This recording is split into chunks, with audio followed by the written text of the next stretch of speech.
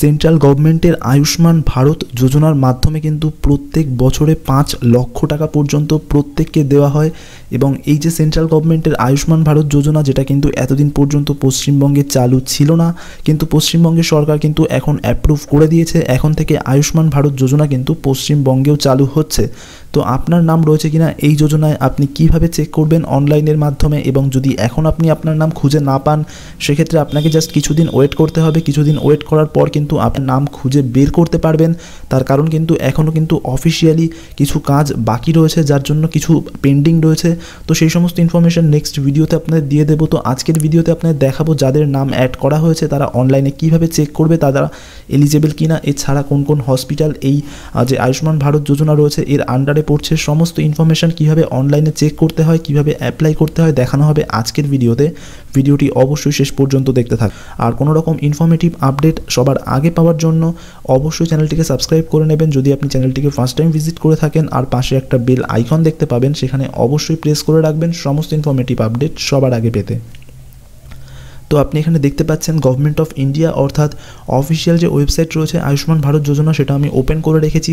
ওয়েবসাইটে আসার জন্য আপনাদের জাস্ট গুগলে গিয়ে টাইপ করতে হবে PM J Y dot GOV dot in আপনি যখনই এটা লিখবেন, তখনই আপনি দেখতে পাবেন আপনার সামনে অফিসিয়াল ওয়েবসাইটের লিঙ্ক একদম প্রথমেই চলে আসবে। আপনি জাস্ট ন্যাচারালি ক্লিক করে ওপেন করলে দেখবেন সেম এইভাবে ইন্টারফেস দেখতে পাবেন।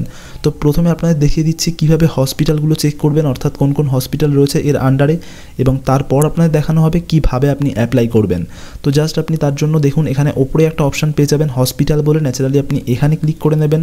এখানে ক্লিক করার পর একদম ফার্স্ট যে অপশানটা রয়েছে ফাইন্ড হসপিটাল আপনাকে এখানে ক্লিক করে নিতে হবে।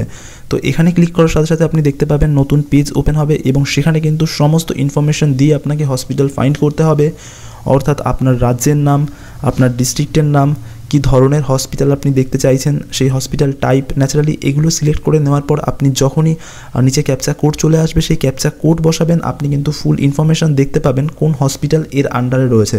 জাস্ট এখান থেকে স্টেট ডিস্ট্রিক্ট হসপিটাল টাইপ এগুলো স্পেশালিটি এগুলো চুজ করে নিতে হবে হসপিটাল নেম এগুলো চুজ করে নিতে হবে এবং তারপর ক্যাপচা কোডটা বসিয়ে আপনি জাস্ট সার্চে ক্লিক করলেই আপনি দেখতে পাবেন ফুল ইনফরমেশান তো যাই হোক, এই হচ্ছে কিন্তু প্রসেস হসপিটাল চেক করার।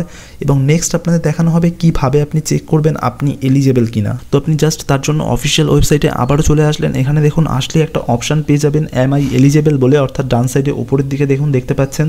তো জাস্ট আপনি এখানে ক্লিক করবেন।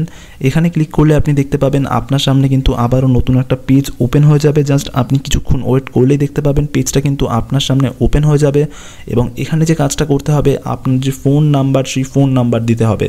আপনাকে যে কাজটা করতে হবে, আপনার ফ্যামিলির যতজন মেম্বার রয়েছে, প্রত্যেকের ফোন নাম্বার দিয়ে কিন্তু চেক করতে হবে এবং ফোন নাম্বার দেওয়ার পর আপনি এই যে ক্যাপচা কোড রয়েছে ক্যাপচা কোড দেওয়ার পর জেনারেট ওটিপিতে ক্লিক করবেন। জেনারেট ওটিপিতে ক্লিক করার পর কিন্তু আপনার যে যে ফোন নাম্বারটা এখানে দিয়েছেন, সেখানে একটা কোড যাবে এবং কোড এন্টার করার পর সাবমিট করলেই কিন্তু আপনি দেখতে পাবেন আপনি এলিজেবল কিনা। এবং সাথে সাথে কিন্তু আপনার যে ফর্ম সেই অ্যাপ্লিকেশন ফর্মও ওপেন হয়ে যাবে। ন্যাচারালি সেই ফর্ম ফিল আপ করে কিন্তু আপনাকে অ্যাপ্লাই করতে হবে। নেক্সট ভিডিওতে অবশ্যই অ্যাপ্লাই করার প্রসিডিওর দেখানো হবে। চ্যানেলটিকে সেই কারণে অবশ্যই সাবস্ক্রাইব করে রাখবেন। আর পাশের বেল আইকনটিকে অবশ্যই প্রেস করে রাখবেন।